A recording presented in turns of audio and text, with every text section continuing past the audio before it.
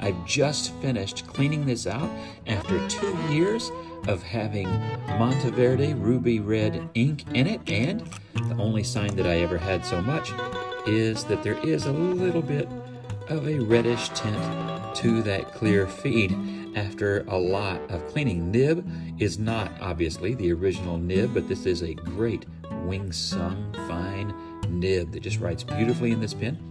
You will notice there is absolutely no cracking in the pen anywhere. It is working great, cleaned up nicely. And now that I have this pen all nice and clean, do you know what I'm gonna do?